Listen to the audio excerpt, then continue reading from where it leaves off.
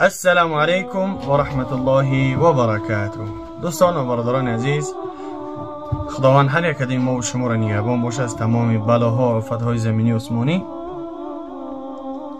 قصه عجیب غریب برای انسانانی که الحمدلله بعضی انسان هستن شکرگزار هستن بعضی انسان هستن ناشکرگزار هستن. پیش از همه برای انسانانی که پرستاتی دارن شهر یکترینبورگ عین حال عکس رفته استی انشاءالله که رقم رو اکران 400 می‌تونه که زنگ بزنین هم دوری سویچه خلاص یک قصه رو فراموش نکنیم یکی از بهترین عابد بود که همیشه با تهجد با عبادت الله سبحانه و تعالی بود و همسری بگیم صالحه داشت الحمدلله که و همسرش با طاعت عبادت الله همیشه بود الله را عبادت می‌کرد هر تعامی که می‌کرد با بسم الله با آیت قرآن اون رو بگیم تیار می‌کرد حتی اونهایی که میپخت با قرائت قرآن پوی به تهارت با قرائت قرآن قد اونها رو میپخت و همسری یعنی شوهرش یعنی عابد بود. هر روز تهجد می‌خوند الحمدلله. بعد بگیم انسان بعضی حالات میشه که کبر و غرور در بدنش پیدا میشه بعد همسرش گفت که الحمدلله ببین که من هر روز شب میخیزم تهجد می‌خوانم با عبادت الله سبحانه و تعالی هستم.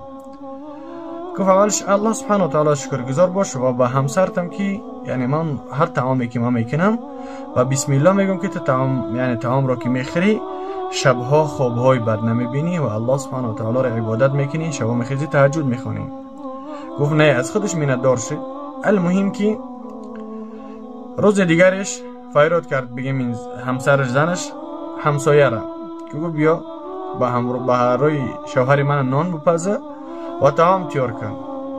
و اون هم بگیم همسایهشان که با عبادت الله که نبود تعام را بگیم با موسیقی و با موزیکا و با رقص بازی خطی که تیار کرد. وقتی که عابد که خورد شب بگیم تهجد را پسکت کرد. شب خوابای بدترس دید. از بعد سه روز گذشت با همراه همسرش گپ زد. گفت که همسرم چرا گفت سه چهار روز که عبادت الله ترک کرده ایستم؟ شبا تهجد نمی‌خوانم. و شبها خوابای بد می‌بینم. گفت انا فرق شدیده انسانی که صالحه هستک و انسانی که بگیم صالحه نیست. انسانی که با تلاوت قرآن یعنی تعام را تیار می‌کنه. زنی صالحه بگیم بهتر از دنیا و اون, و اون چیزی که در دنیا از بهتر است. یعنی خوش به حال انسانی که وقتی که تعام تیار می‌کنه با تلاوت قرآن.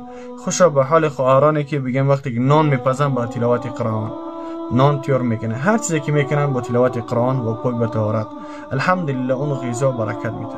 و هم خاطر یعنی گفت که اون دو سه روز دیگه بگیم تهجد می‌کنی ترک می‌کنی. سببش در است که همسایه تیار می‌کنه. همسایه پای به طهارت تیار می‌کنه به تلاوت قرآن.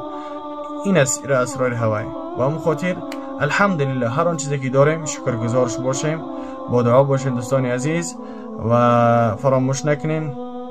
این رقم ها رو اکران برای حجامه و برای داروها دارو خیلی پشت ما می‌بینین ما عین حال در شهر یکترینبورگ قرار داریم در خانه برادرمان و کسانی که حجامه می‌کنن برای اونها انشاءالله که جانموز توفه کردن می‌شوه یکی از بهترین چیزی است که انشاءالله ما و شما رو نجات میدن این نماز است اون خاطر نماز رو ترک نکنیم انشاءالله که جنماز که گرفتین حتمی نماز رو ترک نمی‌کنیم و خیلی در امان الله باشین ودعوه بشين السلام عليكم ورحمة الله وبركاته.